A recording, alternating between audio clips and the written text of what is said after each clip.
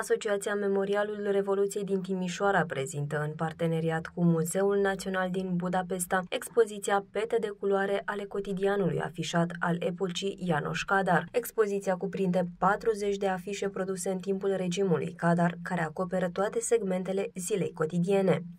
De ce prin afișe? Uh, vedeți că și afișele, chiar dacă sună poate banal, sunt un document istoric, un document istoric Uh, prin care uh, pot fi uh, puse în valoare diverse teme ale societății din acea perioadă. Așadar, pe diverse teme regăsim afișe din perioada comunismului din Ungaria și prin această expoziție cei care am trăit acele vremuri în România, perioade comunism în România, putem găsi foarte multe asemănări ale cotidianului de zi cu zi din Ungaria și din România. Expoziția va ține o lună, pentru că imediat după aceasta vom avea o expoziție despre copiii din Gulag realizat de Muzeul Național de Istorie din Republica Moldova din Chișinău. Și aș vrea să subliniez faptul că uh, Memorialul Revoluției, uh, care evident uh, scopul principal este de a pune în valoare evenimente din 1989 din Timișoara și România, Uh, întotdeauna încearcă să lege acest moment de perioada comunistă, datorită faptului că Revoluția este un efect al perioadei comuniste și nu poate fi ținut undeva în aer. Trebuie să facem legătura între comunism și Revoluție, pe de o parte, și pe de altă parte, comunismul din România și evenimente din România legate de celelalte uh, țări vecine comuniste uh, de dinainte de 89 punctul central este uh, chiar uh, Ianoș Cadar. Uh, Ianoș Cadar la Revoluția din, 19, din 1956 a avut de suferit.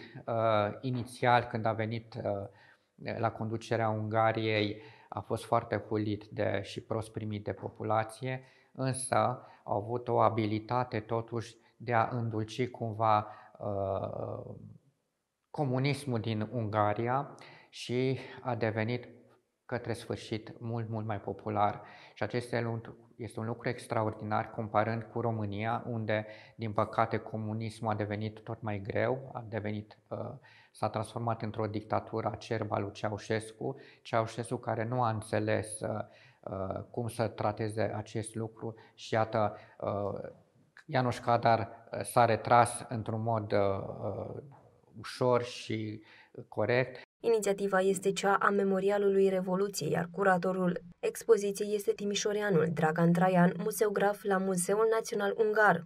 Acesta este doar un prim pas în colaborarea noastră cu Muzeul Național de, uh, din Ungaria. Vom avea o expoziție în luna noiembrie, octombrie-noiembrie, uh, despre Revoluția din 1989, văzută în Ungaria adică va fi expoziție cum a văzut uh, cei din uh, Ungaria uh, Revoluția din decembrie 89 din Timișoara. János Kadar a fost un politician ungar, conducătorul comunist al Ungariei din 1956 până în 1988 și prim-ministru al Ungariei între anii 1956 și 1958 și între anii 1961 și 1965. În anul 1928 a venit pentru prima oară în contact cu marxismul, cu prilejul unei competiții de șah organizată de Uniunea Sindicatelor Frizerilor. János Kadar a câștigat competiția și a primit primit cadou o carte de Angels. Din cauza marii depresiuni, acesta a fost concediat. S-a înscris mai apoi în Partidul Comunist, aflat în ilegalitate. A fost arestat de mai multe ori. În perioadele în care se afla în libertate, a avansat în ierarhia Partidului Comunist, iar între anii 1943 și 1945 a fost prim secretar al partidului. În 1944 a încercat să plece în Iugoslavia pentru a-i se alătura lui Tito. A fost însă arestat de germani și trimis spre un lagăr de concentrare însă a reușit să evadeze. În 1945 și-a schimbat numele din Janosch Țermanic în Janosch Kadar. În 1948 acesta a fost numit ministru de interne, însă a primit sarcina să își ancheteze tocmai cel mai bun prieten pe Laszlo Raik, care a fost executat. Un an mai târziu acesta însuși a fost arestat în urma unei înscenări. A fost torturat de și săi comuniști. În cele din urmă, în 1954, a fost eliberat și numit secretar al partidului într-unul dintre districtele muncitorești ale Budapestei. În 1956, invazia sovietică l-a adus la putere. A încercat să facă unele mici reforme, dar fără a-i irita pe sovietici. Astfel, fermierii au căpătat o oarecare libertate economică, iar numărul turiștilor occidentali a crescut în Ungaria. Regimul său a căpătat porecla de gulaș comunism. Janos Kadar a rămas la putere până în 1988, când a demisionat din cauza problemelor economice și pentru că avea o sănătate precară. În 6 iulie 1989 a murit din cauza cancerului.